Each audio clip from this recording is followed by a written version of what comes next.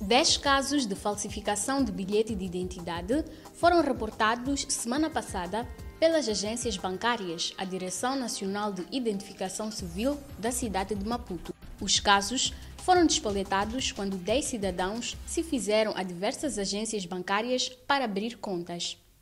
Os gestores identificaram algumas anomalias nos documentos apresentados e entraram em contato com a Direção Nacional de Identificação Civil, que constatou que se tratava de comprovativos falsos. Entretanto, apercebendo-se da demora no atendimento, os impostores abandonaram os balcões.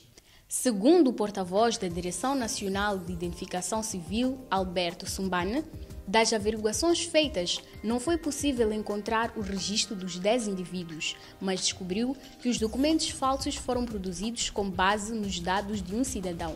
Por isso, as autoridades estão a investigar as circunstâncias em que o comprovativo desse cidadão chegou às mãos do falsificador.